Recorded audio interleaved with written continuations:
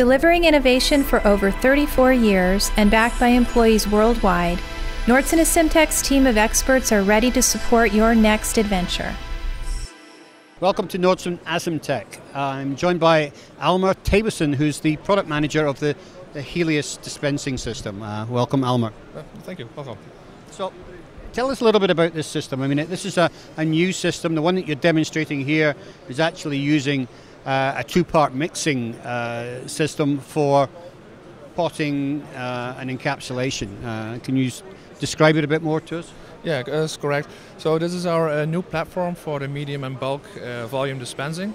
Um, traditionally, Asymtek is known for the micro dispensing. This is going into applications like potting, thermal paste, uh, what we call medium and bulk volume. For us, that's about half a cc or 0.3 cc and more.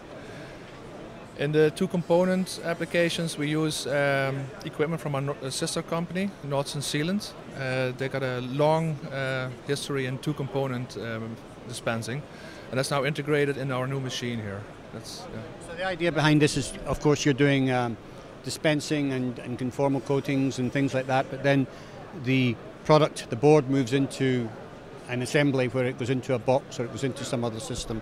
Uh, yeah, yeah, correct. So uh, on our uh, product line, we had uh, a lot of dispensing from from wafer level all the way up to uh, PCBs, uh, but kind of stopped there. But of course, this PCB is not the end product. It goes further. It goes into an enclosure that's being heat sinks being put on there, and this machine actually adds to our product portfolio to also address that market. Yeah.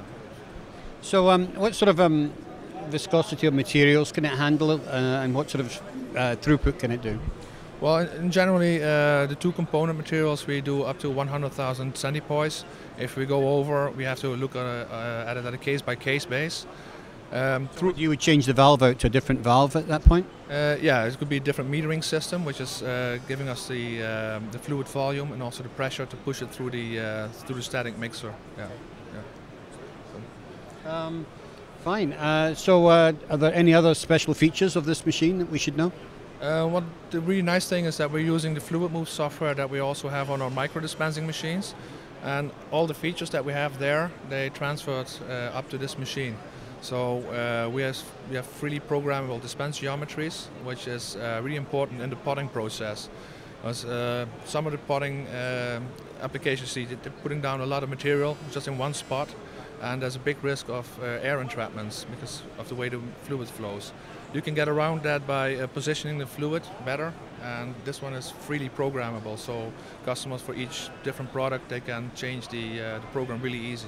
So if you, if you if you build up the the deposit of material uh, or potting material, then uh, in a certain configuration you're less likely to, to get air entrapment.